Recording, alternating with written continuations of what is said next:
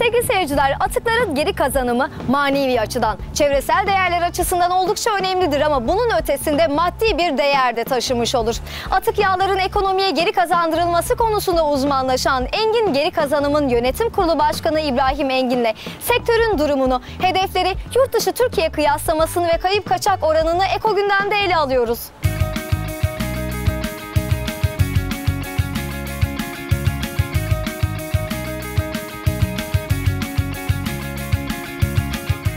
Dünyada nüfus artışı tüketim artışını beraberinde getiriyor ve geri dönüşüm milyar dolarlarla ifade edilen bir pazarın adı oluyor. Mevcut kaynakları kontrollü kullanmak adına atıklar yerüstü madenleri olarak değerlendiriliyor ki ekonomiye katkılarıyla birlikte çevresel bir etkileri de bulunuyor.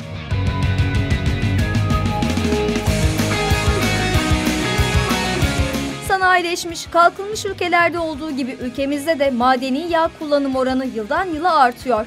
Ömrünü doldurarak kullanım özelliklerini yitirmiş atık yağlar konusunda uzmanlaşan Engin Geri Kazanım'ın yönetim kurulu başkanı İbrahim Engin'le geri kazanım sürecinde olmazsa olmazlardan atık yağın değerini net rakamlarla ortaya koyarak başlıyoruz sohbete. Atık bir ham maddedir biz, bizim için.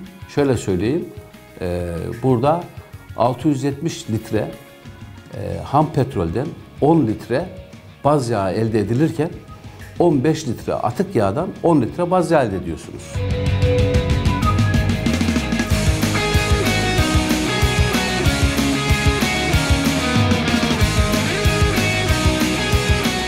Değer tespitinin ardından atık yağların ekonomiye kazandırılmasında firmanın üstlendiği sorumluluğun tarihçesini merak ediyoruz. 1975 yılında Engin Ticaret diye e, hani bu bir Atasanay'da hurda dükkanı varmış.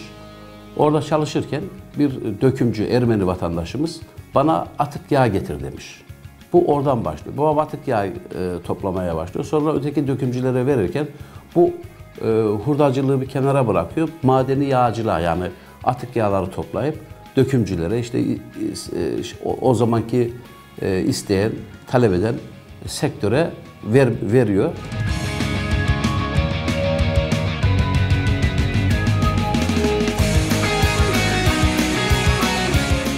Zaman arz talebi doğurur. O yıllarda gelen bir talep firmanın yolunu değiştiriyor ve kurumsallık adına ilk adımda 1998'de atılıyor. Atık yağ konusunda ülkede ilk kez işletme belgesi alınıyor. Bu arada sektörün gelişimi yurt dışında da takip ediliyor. 1998 yılında e, işte bir ihaleye giriliyor. giriliyor. İhalede e, bakanlıktan lisans istiyorlar. E, biz de Çevre Bakanlığı'na gidiyoruz. Gittik o zaman. Çevre Bakanlığımızdaki işte yetkili Kemal Beyler, Mahir Beyler vardı o zaman. Geldiler. Burada bu şartlarda veremeyiz dediler. İşte nasıl yapılacak, nasıl edilecek diye böyle bir epey bir mütalaa yaptık. İşte biz de aile şirketi oturduk dedik kayıt içine girelim nasıl bir çalışma yapalım diye. Sonra 2000 yılında Selami kardeşimle Birol Bey Almanya'ya gittiler. Orada nasıl bir çalışma yapılıyor, orada hani görüşüldü.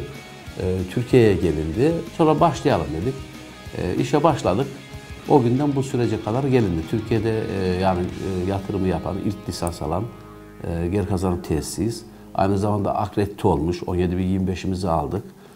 İş yeri belgesi, yeterlik belgesi 13.541'imizi aldık. Yani bakanlık bizi şöyle söyleyeyim. O günden bugüne kadar başladığımızda bir atölyeyi bakanlığımız ve bizim de gayretlerimizde bir tesis sahibi olduk.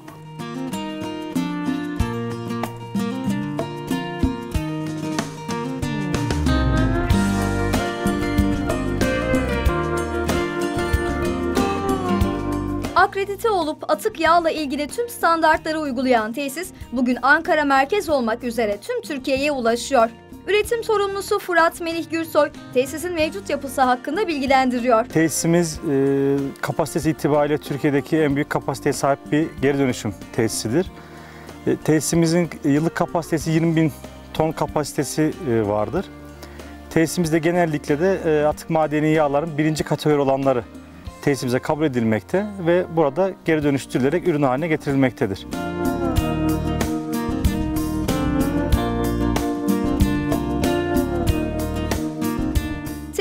Madde lisansına sahip araçlarla ülke genelinde oluşan atık madeni yağların toplanmasında ve işlenmesinde sorumluluk üstlenilen tesisteki işleyişi de konuşuyoruz. Kimya Yüksek Mühendisi Melih Gürsoy'la. Gelen yağlarımız burada e, öncelikle e, güvenlik kontrolünden geçtikten sonra tartım ünitesine alınır. Tartılır. E, tartıldıktan sonra ise atık madeni yağ boşaltım ünitesine geçilir. Atık madeni yağ ünitesinde tekrardan bir numune e, alınarak önceden alınan numuneyle laboratuvarda kıyası yapılır. Laboratuvardan e, eğer ki onay alınırsa evet aynı ürün denildiği takdirde atık yağ boşaltılmaya e, alınır.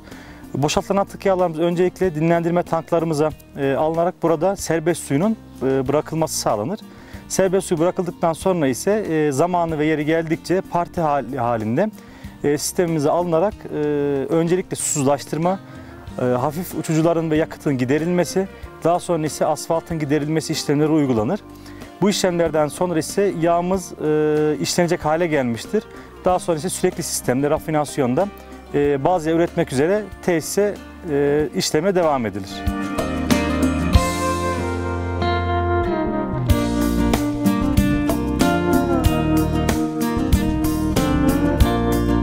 Bu süreçte karşılaşılan en büyük sorunun ham madde olduğu tespitinde bulunuyor İbrahim Engin. Yatırımcının en büyük problemi ham madde bulamayışı. Burada biz e, şöyle söyleyeyim, e, akredite laboratuvarını aldık. Hurdacı dış kapıdan geliyor. Diyor ki benden atık yağ alır mısınız diyor. Gerçekten bu hicap ediyor. İnsan üzülüyor. Biz toplayamıyoruz. Toplayamayışımızın sebeplerini tabii e, inşallah ileriki süreçlerde bunlar daha kolaylaştırılacağına ben inanıyorum. Çünkü bakanlığımızın da bu konuda bir çalışmaları var. E, istenilen kriterleri de yerine getirdik. Getiren firma tesis sahiplerimiz de var. Yani bir el birliğiyle inşallah ileriki günlerde ben güzel olacağını, hani yağmurun, karın, e, bataklığın olacağını inanıyoruz. Ama sonradan çiçeklerin, güllerin de açacağına inandığımız için e, işimize devam ediyoruz.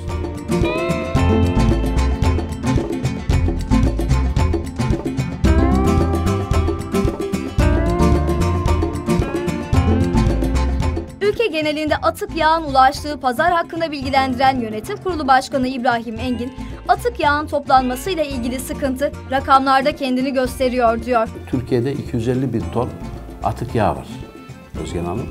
250 bin ton atık yağın 50 bin tonu kayıt içerisinde. 200 bin tonu kayıt dışında. Ama inanıyorum ki ileriki süreçlerde 50 bin tonun e, kayıt dışına geleceğini, 200 bin tonun da kayıt dışına gireceğini e, ileriki günlerde inanıyorum ama tabii bugün bu erken.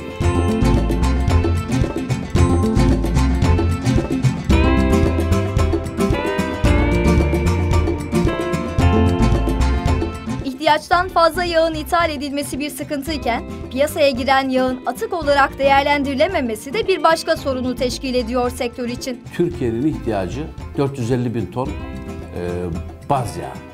450 bin ton baz yağının 350 bin tonunu tüpraş karşılıyor.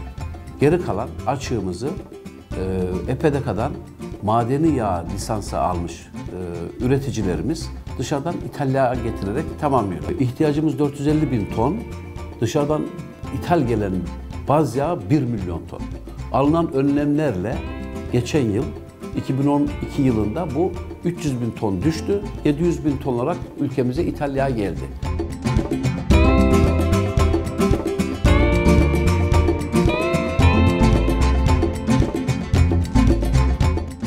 Yüksek Mühendisi Melih Gürsoy, atık yağlar işlendikten sonra elde edilen bazı yağın kalitesinde bir değişim yaşanmadığını vurguluyor. Buradan elde edilen ürünler e, tamamen ikincil bir üründür E, fakat kalite olarak bakıldığı zaman TSE'nin e, çıkarmış olduğu 13369 baz yağ standardına uygun bir üründür.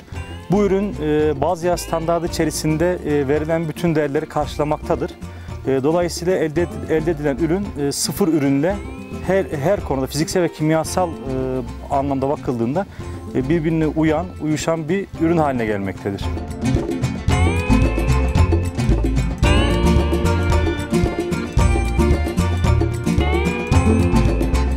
Tesise kabul edilen yağların yapısı hakkında bilgilendiren Melih Gürsoy, en çok hangi sektörden yağ akışı sağlandığının da altını çiziyor. Atık madeni yağ tesisleri bünyesinde sadece birinci kategori atık yağları kabul edebilir. Ayrıca sonradan çıkarılan bir tebliğ ile de atık madeni yağlar e, eğer ikinci kategori çıkmış ve bazı değerleri birinci kategoriye eğer uygunsa bu yağlar da atık madeni yağ tesisleri kabul edebilir. Atık madeni yağlar bize genellikle endüstriyel e, şirketlerden gelmektedir veyahut da madeni yağ üretim yap, yapım yapılır ve e, sonrası atıklar oluşursa bunlar yine bizlere gelmektedir. E, genellikle de bizim e, buraya gelen yağ, yağlama yağları, hidrolik yağlar dediğimiz, dişli yağlar dediğimiz tamamen sanayinin artıları olan yağlardır.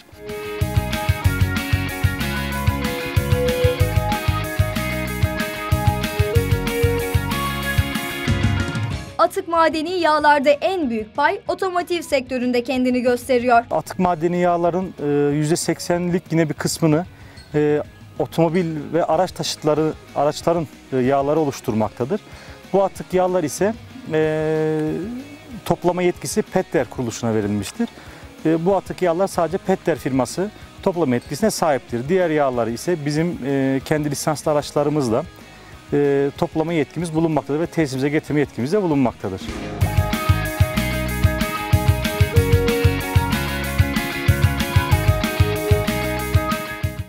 Aldıklarımızı kirletmeden ona geri verdiğimiz sürece güçlüyüz diyen İbrahim Engin'in mesleki tecrübeleri, çözüm üretme ve doğru mecralarda bunu dilendirme noktasında geri kazanım sanayicilerini tek çatı altında buluşturuyor. Kısa adıyla Geksander, Geri Kazanım Sanayicileri Derneği daha gür bir sesle çözüm üretmek hedefiyle yola çıktı diyor derneğin de yönetim kurulu başkanı olan İbrahim Engin. 2009 yılındaydı. Ee, işte o zaman genel müdür yardımcımız Eyüp Yakşı Bey e, bir toplantı yapmıştı bizi e, çağırdı. Gittik e, o 20-25 tane lisanslı tesis arkadaşlarımızla. E, bana dedi bireysel gelmeyin. Dernekleşin, dernek olarak gelin dedi. Biz de çıktık, arkadaşlarımızla görüştük, konuştuk. O zaman e, işte 6 arkadaşla beraber e, bir dernek kurduk. Bugün 24 tane dernek üyemiz var. Sadece geri kazanım, e, e, hani madeni yağ geri kazanım yapan arkadaşlarımız değil, e, elektrik elektronik atıkları yapan, lastik geri dönüşümü yapan, e, varil geri dönüşümü yapan, araba e, geri dönüşümü e, ve tehlikesiz atıklarla ilgili 24'e yakın e, derneğimizin üyesi var. E, toplama ayırma tesisi e, yapan arkadaşlarımız var. Derneğin faydası kısa sürede ortaya çıkıyor. Önce bilgi ve bilinç düzeyinde yükselme oldu diyor İbrahim Engin. Ardından kurumlar arası diyalogda muhatap alınma noktasında derneğin etkisi görülüyor. Engin'e göre lisans alan her geri kazanım tesisi ilgili bir sivil toplum kuruluşuna üye olmalı, bunu da bakanlığa belgelemeli. Dernekleşme hem bizi bilgilendiriyor. Bireysel olarak da bunu biz yapamıyoruz. Ama kurumsal bir kimlik olduğu zaman yazışmalarımızla, bakanlığımızla ilgili e, hani EPEDEK olsun, Ekonomi Bakanlığı olsun ki gönül istiyor ki bu işe Milli Eğitim Bakanlığı da katılsın. Bu iş eğitimle olacağına inanıyoruz. Sadece yani söylediğimiz gibi yani bir insanın e, sağlıklı insanın yürümesi için iki ayağına nasıl ihtiyacı varsa bizim de kurumlar arası diyalog olması lazım.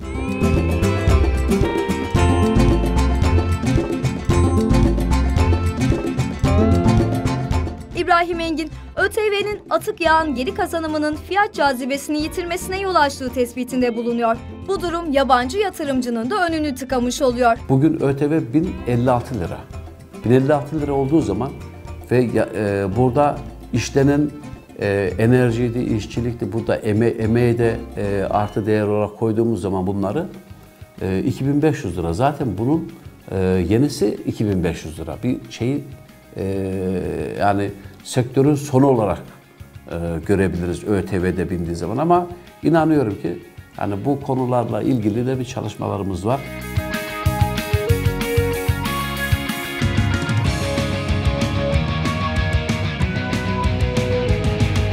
Çözüme de değinen sektörün duayen ismi İbrahim Engin, çıkış yolunu Avrupa Birliği'nde olduğu gibi teşvikte görüyor. Biz Avrupa Birliği müktesebatı diyoruz, Avrupa Birliği ile beraber diyoruz ve ilk faslı Çevre Bakanlığımız e, bu konuyla ilgili e, imzasını attı. E, bu yabancı ülkelerde e, yakmaya vergi alın.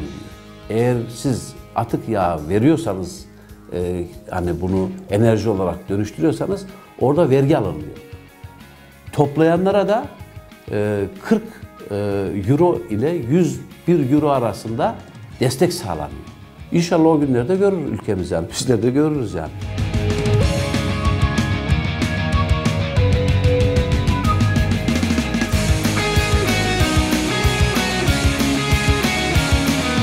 Yatırımcıya sağlanacak destek bu ülkeye yatırım olarak geri dönecektir diyen Engin, işimizden kazandığımızı yine işimize yatırıyoruz diyor. sporcu madalyayı aldığı zaman ondan mutlu insan yoktur. Ee, bir sanatçı alkış aldığı zaman ondan mutlusu yoktur. Biz yatırımcı, sanayici de yani finans olarak bunu yatırımını finans olarak aldığı zaman ondan mutlu yoktur. Neden? Çünkü gerçekten o para onun cebine girmiyor. Yatırımını daha geliştiriyor. İşte laboratuvarını kuruyor, tesisini büyütüyor, istihdamını genişletiyor.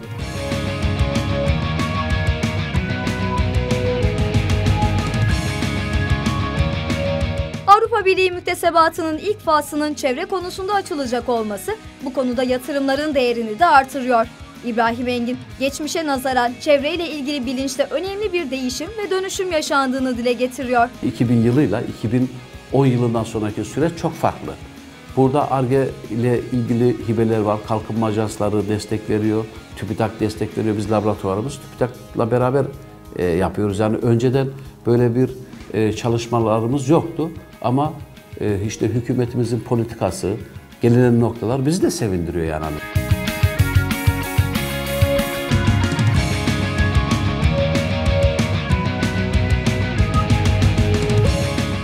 Tesiste yatırım hedeflerinde hız kesilmiyor.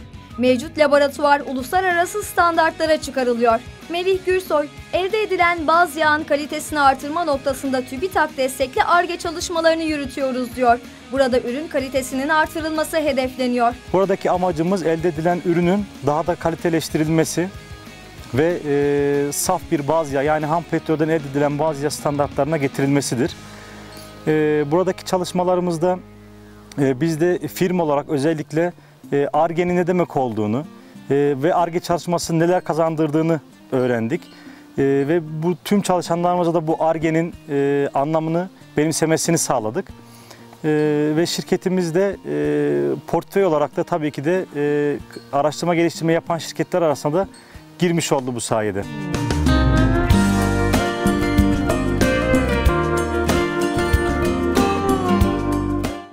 Başkanı İbrahim Engin, sektörün uzun vadeli adımlar atabilmesinin yönetmeliklerle doğru orantılı olduğunu ifade ediyor.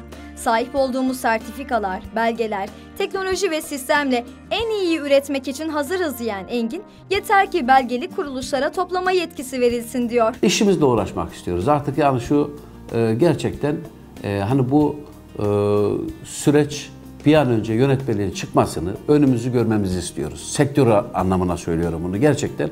Yani e, bazı şeyleri artık hızlandırmamız gerekiyor. Bunu da yetkililerden istirham rica ediyoruz, arz ediyoruz. EPDK ile madeni yağ geri kazanım tesisleri arasında yaşanan sürece de değinen Yönetim Kurulu Başkanı Engin, kurumlar arası diyaloğun belgelendirme sürecinde de kendisini göstermesi gerektiğinin altını çiziyor. Yaptığımız iş e, ülkede yeni olduğu için e, hani zamanla belgeler isteniliyor. Bu belgelerden bir tanesi de Çevre ve Şehircilik Bakanlığımız tarafından EPDK'dan madeni yağ lisansı getirme koşulu oldu. Biz madeni yağ üreticisi değiliz.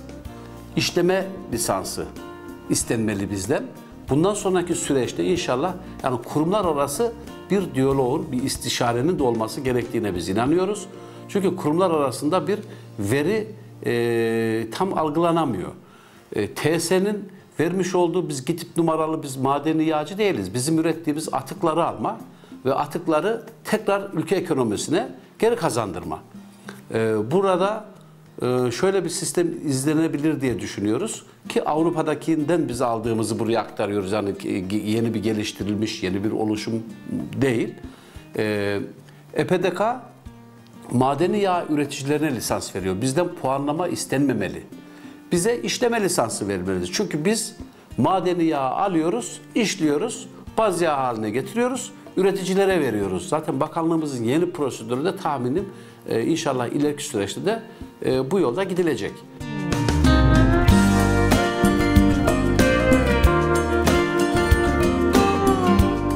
sektöre yeni adım atacaklara karşılaşacakları süreçle ilgili uyarılarda bulunmayı da ihmal etmiyor.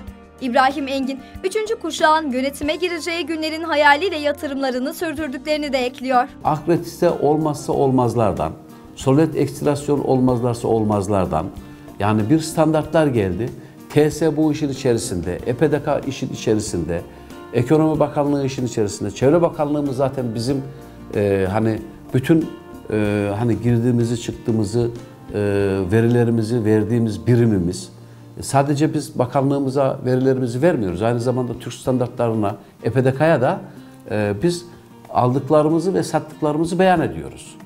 Yani e, burada e, baz yağ üreticileriyle atık yağ üreticileri TS ayırt etti. Yani arkadaşlarımız bu yatırımı yatırımı yaparlarken iyi düşünmeliler. Yatırımcıların desteklenmesiyle ilgili genel talep, üretim sorumlusu Melih Gülsoy'un da sektör adına arzu ve beklentisi oluyor. Türkiye şartlarında bu tür tesislerin biz her zaman e, desteklenmesini talep ediyoruz.